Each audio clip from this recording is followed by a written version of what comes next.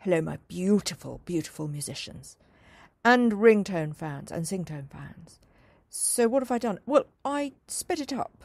So I took yesterday's one, Soul Hits the Funk, and I just sped it up. So I put it up, I think it was about 100, maybe a bit less actually. It was quite slow.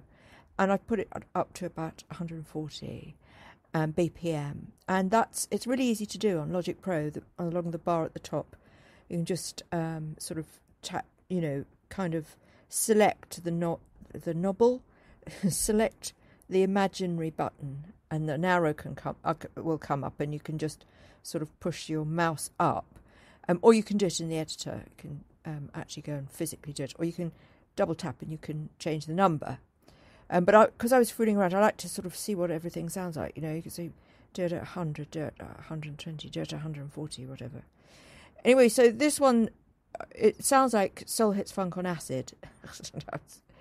I quite like it though, but I'm not. I wouldn't like to say which one I prefer. I think probably the slow one.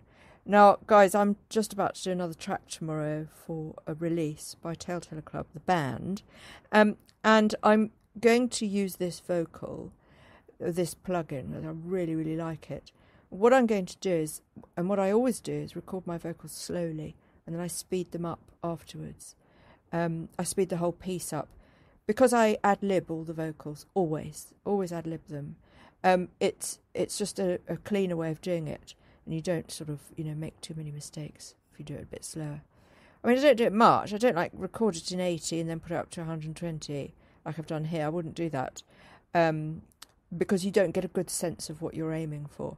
But I'd certainly put it up, you know, ten or twenty um, BPM. So you know, fiddle around and see what you think. Anyway, here it is. Here's your freebie for today, and you can use it for private use and one off events and education. I should say that every day.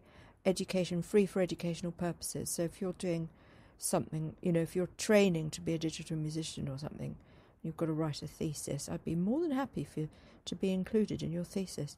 Anyway, guys, here we go. I'll stop waffling on.